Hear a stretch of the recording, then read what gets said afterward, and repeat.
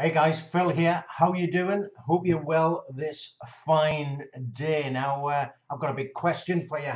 Are you or have you classed yourself as a multitasker? Now, we all have. Listen, I have.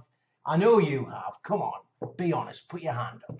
All right, but um, multitasking, it's it's a bit of a myth. All right, people think that. Um, being a multitasker, you can do lots of little things. You can do lots of things simultaneously. Yeah, stop it. Stop it right now. And I'll tell you why.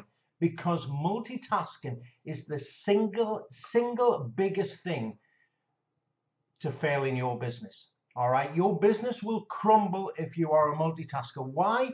Because you are, you, you know, you, you are doing 10% here, 10% there, 10% there. You are apportioning um, certainly not 100% to various tasks.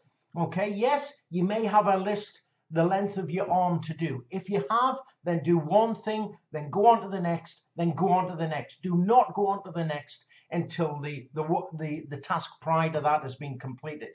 You will fail, my friend. I promise you. Look, I'm speaking from experience here. I've been building businesses for 12 years online and I know it just happened to me. I was doing lots of different things. Okay, so multitasking is the scourge of business, especially online business. Because here's the thing with an online business, a lot of you are working from home. I'm working from home in, in my in my home in Northern Ireland here. But um, little things happen, don't they? You think, well, you know, I can do a little bit of this, I can do a little bit of that, I can go and um, I can fill up the dishwasher, I can put the washing on. When you start doing little things like this, when you start multitasking, yeah, your business, your business ROI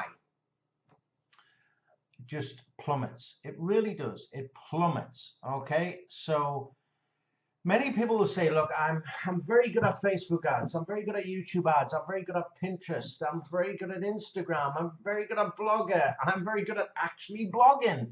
All right, great, great. But look, become good at one thing.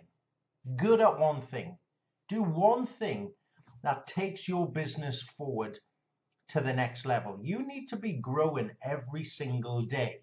All right, you cannot do that if you're doing lots of little tasks and putting 10% here, 25% there, you know, 50% there.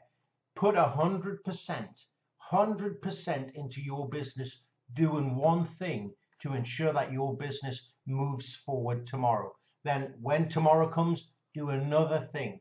Okay, do another thing. Don't do 10. Don't think about all these different traffic strategies.